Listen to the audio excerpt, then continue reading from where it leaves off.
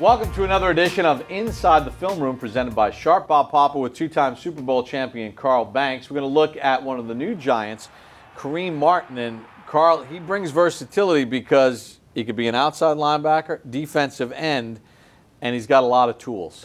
Well, the beautiful part about a 3 4 defense is that you can morph your best players into anything you want them to be. They could be a stand up rusher, they could be a stand up drop guy, they could be a hand in the dirt rusher, or they could just put their hand in the dirt and drop back. The beautiful part of having good players in a 34 defense, and Kareem Martin is that guy. And the defensive coordinator, James Bettcher, obviously had him in Arizona. We're going to watch him rushing the passer here. Yeah, he's the stand up defensive end. You see the three down linemen, so it's a standard 34 defense. He runs, but you can see his pass rush skills. He beats the fullback. Fullback comes over to get a good hit on him. He swims him, accelerates through the other uh, running back, and makes a tip on the ball. So he takes care of two guys in one move. Yeah, one move, but here's the thing we're used to seeing athleticism at the linebacker position.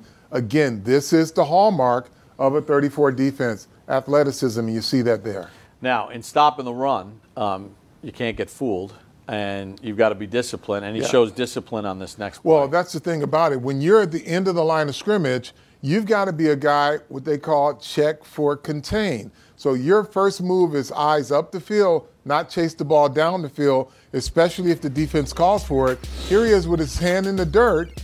He sees a tight end go across, back across his face. Immediately he goes straight up the field because he knows that it's a reverse. And that's a 15, 20 yard loss because he played his keys.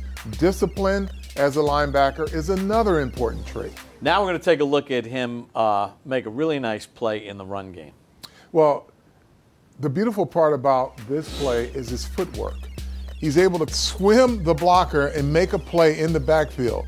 The tackle never had a chance, drops his head, he swims in, but look at the footwork. He gets around and then accelerates back into the backfield. So he's right on balance as yes. he's making the swim move, as opposed to making the swim move, being out of position. And never getting back into play. And not having yes. leverage. All right, those are some of the attributes that Kareem Martin will bring to the New York Giants. For Carl Banks, I'm Bob Papa. Thanks for joining us for this edition of Inside the Film Room.